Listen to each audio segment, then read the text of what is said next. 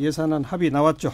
예, 정확하게 말하면요. 민주당과 자유한국당이 잠정 합의를 한 겁니다. 예. 바른미래당, 민주평화당, 정의당 등 3당은 아시다시피 이게 선거법을 연계해놓고 예. 있었지 않습니까? 예. 이게 두 당만 해버렸어요. 네. 네. 두당 합의했고 또 각 당 의원총회 통해서 인준도 예, 받았다면서요. 맞습니다. 오늘 오후 3시 반쯤에 그 홍영표 민주당, 김성태 자유한국당 원내대표가 내년도 예산안에 대해서 잠정적 합의를 이루었다. 그런데 이게 이제 한 시간 동안 각 당이 의총을 벌이고 추인을 받으면은 되는 건데 어느 한 당이라도 추인을 못 받으면은 무효화하기로 합의했다 이렇게 예. 밝혔어요. 예. 근데 방금 말씀하신 대로 양당 모두 의총에서 추인을 받았어요. 네. 이러면은 이제 7일 날 본회의가 열려서 예산안이 처리가 됩니다. 네. 다른 정당들은 반대가 아주 아, 심하게 그럼요. 뒤에 어. 이제 뭐 김관영 원내대표 나온다고 이제 제가 들었는데 오늘 이 협상 중에는 김관영 원내대표도 참여를 했었어요. 예. 원래.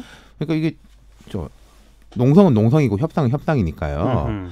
예, 그 비공개 회동에서 합의문에다가 선거제 개혁 관련 문구를 넣자. 뭐 아마도 뭐 언제까지 하기로 노력한다. 뭐 이런 정도를 제안하지 않았겠습니까? 예. 근데 이제 민주당하고 한국당은 아예 못 넣는다. 아. 그러니까 이 당들은 이게 뭐 옳고 그름을 떠나가지고 선거구제를 예산안하고 연계시킨 것 자체가 예. 어불성설이다 이런 입장이었거든요. 예, 예. 그러자 이제 김관영 원내대표가 퇴장하면서 더 이상 할 이야기가 없다 이렇게 음. 격앙된 반응을 보였죠. 조금 있다가 그 목소리 직접 듣겠고요. 예.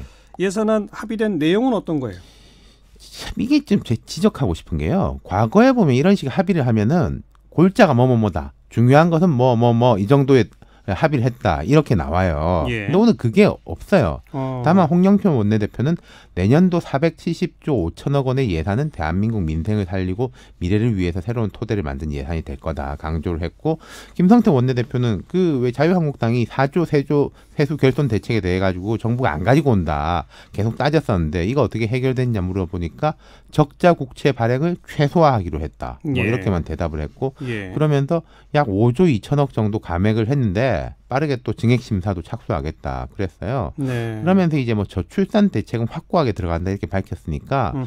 그 자유한국당이 이번에는 뭐 육아 수당 이런 거 많이 늘리자고 했지 않습니까? 그렇죠. 뭐 그런 쪽이 좀 더 들어가지 않았을까 싶습니다. 어쨌든 다른 당들이 반발해도 두 당이 그 합의하면 처리는 되는 거죠. 그렇죠. 이게 뭐 필리버스터 이야기가 이게 그 나머지 삼당에서 조금 나오는 모양인데 국회법에 보면은 무제한 토론회 실시 이게 필리버스터 관련 조항인데 예산안 등 예, 세입 예산 안 부수 법률안에 대해서는 매년 12월 1일까지 적용한다 이렇게 돼 있어요. 그러니까 12월 1일이 넘어가면 음, 필리버스터를 못 한다. 그렇죠. 아. 게다가 필리버스터는 재적 의원 3분의 1이 동의해야 됩니다. 근데 민주당하고 한국당 의원 합치면 241명이거든요. 예. 80%가 넘어요. 그러니까 3분의 1도 안 되고 예. 또 법적으로도 안 되고 그렇죠. 모양새가 좋지는 않네요. 그래도. 두 가지 지점에서 지적할 수 있을 겁니다. 어쨌든 요 몇 년 사이 예산안은 항상 합의 처리가 됐어요. 뭐 파행으로 좀 갔다가도 다시 합의가 됐는데 그 선례가 깨졌다는 겁니다. 예, 예. 그리고 중요한 거 하나는 안 그래도 졸속 심사 졸속 심사 그런데 올해는 더 졸속적으로 진행이 됐다. 네. 법적 권한도 없는 소소위에서 이제 막 잘라내고 막 붙이고 이제 증액 심사 한다 그러지 않습니까? 쪽지 예산 같은 것도 막 나올 겁니다. 예.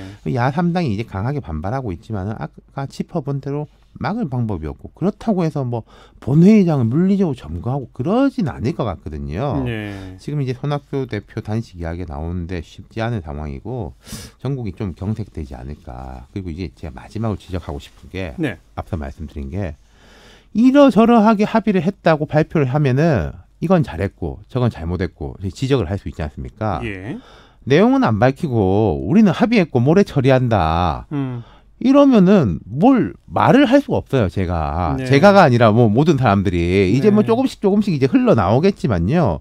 다시 한번 말씀드리는데 구체적 내용을 다 밝힐 수는 없지만은 핵심적인 부분들, 쟁점은 어떻게 해결됐다. 이런 정도는 오늘 밝혔어야 하지 않는가 싶다는 음. 거죠. 뭐 오후 늦게 이게 합의가 되다 보니까 그렇지 이제 기사들이 조금씩 나오는 것 그렇죠. 같아요. 조금씩 흘러 나올 겁니다. 예컨대 뭐 일자리 예산에서 어, 또 얼마를 어디, 깎고 어디 뭐. 어디를 깎고 뭐 예. 이런 식이 조금씩 나오긴 나오는데 네. 그걸 종합적으로 쫙 정리해서 함께 발표했어야 옳은 거죠 사실은. 그렇죠. 네. 수고하셨어요. 감사합니다. 윤태곤 실장이었습니다.